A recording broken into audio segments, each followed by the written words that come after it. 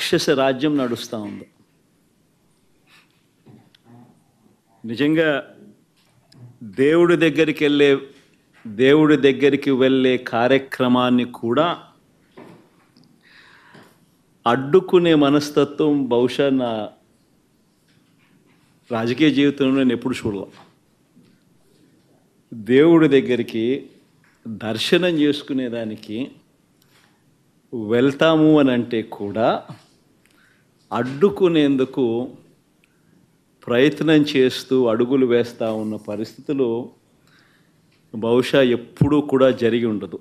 దేశంలో కూడా ఎప్పుడు బహుశా జరిగి ఉండదు. రాక్షస రాజ్యం అనేది ఇదే.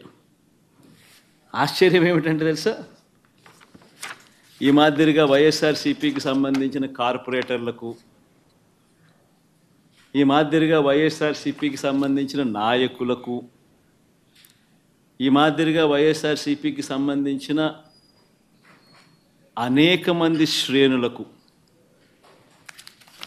ఈ మాదిరిగా నోటీసులు ఇవ్వడం ఈ మాదిరిగా నోటీసులు ఇవ్వడం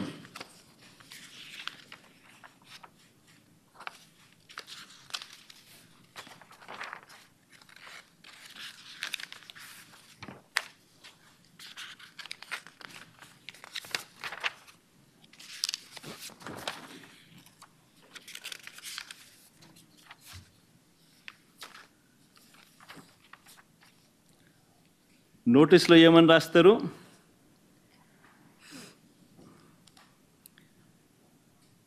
మాజీ ముఖ్యమంత్రి సభ్యులు వైఎస్ జగన్మోహన్ రెడ్డి గారు తిరుమల తిరుపతి సందర్శనకు సందర్శన ఉన్నందున సదరు కార్యక్రమానికి అనుమతి లేనందున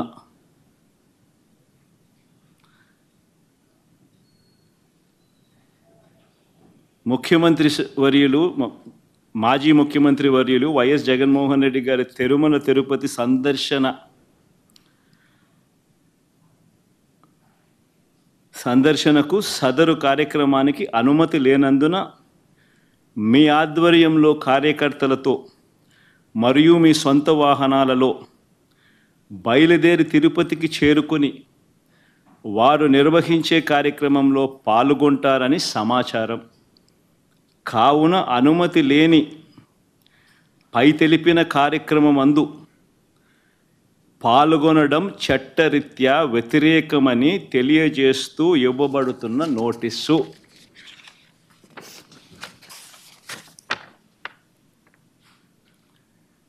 ఒక రాష్ట్ర మాజీ ముఖ్యమంత్రి జగన్మోహన్ రెడ్డి అనే వ్యక్తి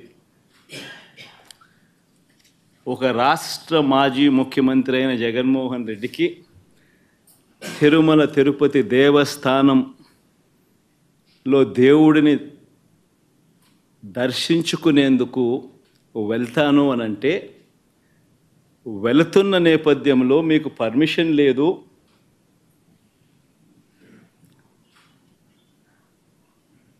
ఆ కార్యక్రమంలో ఎవరు పాలు పంచుకున్నా మీ అందరినీ అరెస్ట్ చేస్తాము అని గుడికి పోవడానికి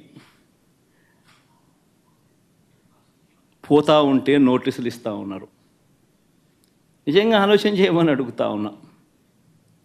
ఏ ప్రపంచంలో ఉండం? రాక్షస రాజ్యం కాదా ఇదని అడుగుతా ఉన్నా.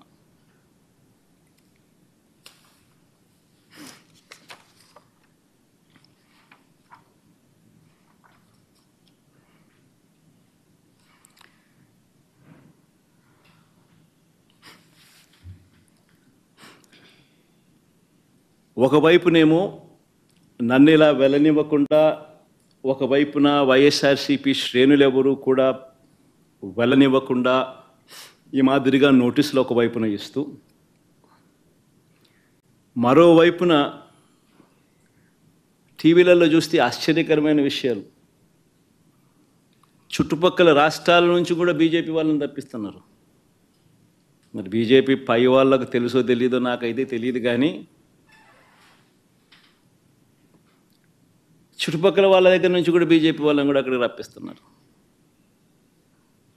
కొన్ని వేల మంది పోలీసులు అక్కడ మోహరించినట్టుగా చూపిస్తూ ఉన్నారు. నేను అడుగుతా ఉన్నా ఎందుకు ఇంతగా టాపిక్ డైవర్ట్ చేయడానికి కోసం ఎందుకు ప్రయత్నం చేస్తూ ఉన్నారు? ఎందుకు ఇలా టాపిక్ డైవర్ట్ చేయడం కోసం ఎందుకు ఇంత ఆరాట పడతా ఉన్నారు?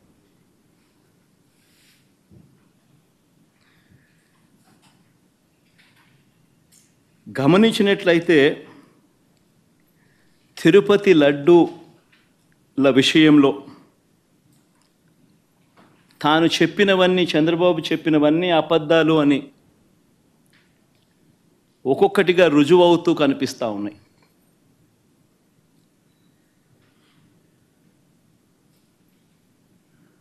ఆ కనిపించే నేపథ్యంలో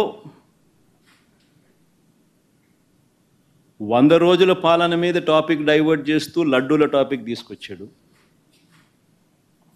ఆ లడ్డూల టాపిక్లో చంద్రబాబు నాయుడు అడ్డగోలుగా తప్పు చేసి గుడి పవిత్రతను దెబ్బతీస్తూ అడ్డగోలుగా దొరి దొరికిపోయేసరికి మళ్ళీ ఈ టాపిక్ను డైవర్ట్ చేసేందుకు లడ్డూల టాపిక్ను డైవర్ట్ చేసేందుకు కొత్తగా ఇప్పుడు డిక్లరేషన్ టాపిక్ తీసుకొచ్చి మళ్ళీ అది ఇంకొక రాజకీయం చేస్తూ ఉన్నారు. ఒకసారి గమనించినట్టయితే తిరుమల పవిత్రతను స్వామివారి ప్రసాదం విశిష్టతను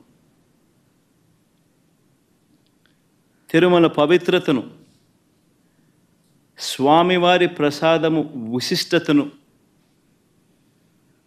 తిరుమల తిరుపతి దేవస్థానం పేరు ప్రఖ్యాతలను.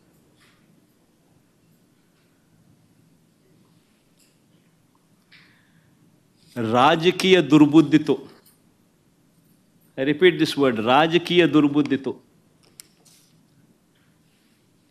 జంతువుల కొవ్వుతో లడ్లు తయారీ అయినట్టుగా.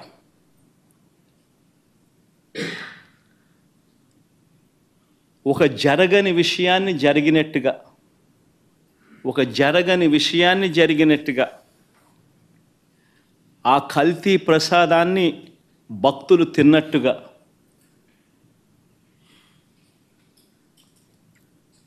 నిజంగా ఒక ముఖ్యమంత్రి స్థానంలో ఉన్న వ్యక్తి తెలిసి తెలిసి అబద్ధాలు ఆడుతూ అసత్యాలు చెబుతూ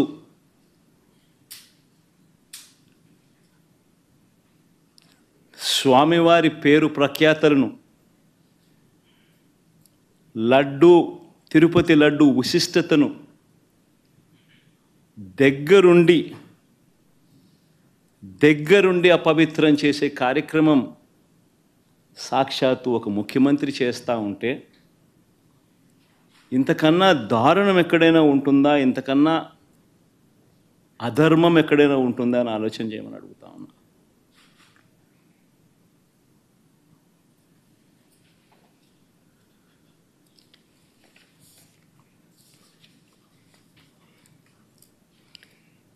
ఒకసారి వీటికి సంబంధించిన విషయాలు మరొక్కసారి పునరుద్ఘాటిస్తా. ఏ రకంగా చంద్రబాబు నాయుడు గారు అనే వ్యక్తి ఏ రకంగా తాను అబద్ధాలు చెబుతూ అబద్ధాలకు ఏ రకంగా తాను రెక్కలు కట్టాడు అన్న విషయాలను మరొక్కసారి మీ అందరికీ కూడా ఆధారాలతో సహా చూపిస్తా. రాష్ట్ర ప్రజలందరికీ కూడా రాష్ట్ర ప్రజలే కాదు దేశ ప్రజలందరూ కూడా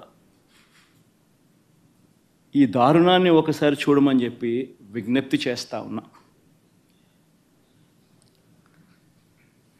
ఒకసారి గమనించినట్టయితే మామూలుగా ఈ టెండర్ల ప్రక్రియ మామూలుగా ఈ తిరుపతి లడ్డుకు సంబంధించిన ఇవి కొనుగోలు చేసే నెయ్యి కానీ ఈ పదార్థాలు కానీ కొనుగోలు చేసే ఈ కార్యక్రమం ఆరు నెలలకు ఒకసారి జరుగుతాం